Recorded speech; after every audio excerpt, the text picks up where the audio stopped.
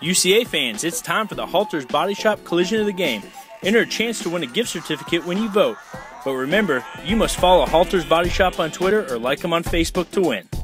Let's first take a look at the collision of the game against Southeastern Louisiana. Congrats to Bailey McIvan for his collision and to Brenda Moore for being our lucky fan. You have won a $50 gift certificate to Colton's. Alright, UCA fans, this is the penultimate Halters Body Shop collision of the game. Now let's take a look at the hits against Nicholls State. First up is this collision by Zach Bush.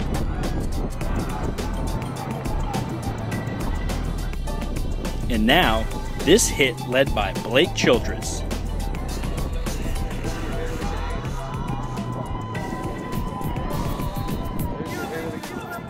And last but not least, this collision by Justin Love.